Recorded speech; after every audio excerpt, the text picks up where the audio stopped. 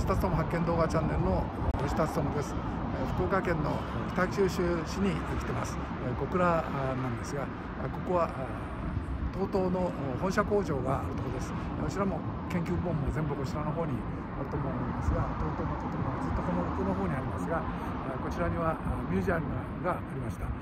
TOTO というのはこの起源が森村組に発しましてろんな人た。ちが活躍しながら各企業に分社化してきたところです、えなおこの現在の TOTO からも NGK プラグの日本一特殊東京などもいろいろ出てきているという非常にこう一つ一業種一社に限るというような形で事業展開をした会社で、えこの TOTO はこの衛星陶器から今住宅の総合メーカーに変わってきているところです。中を見せてもらいました。中では動画を撮れませんのでして外からご案内しました。吉田勉でした。終わります。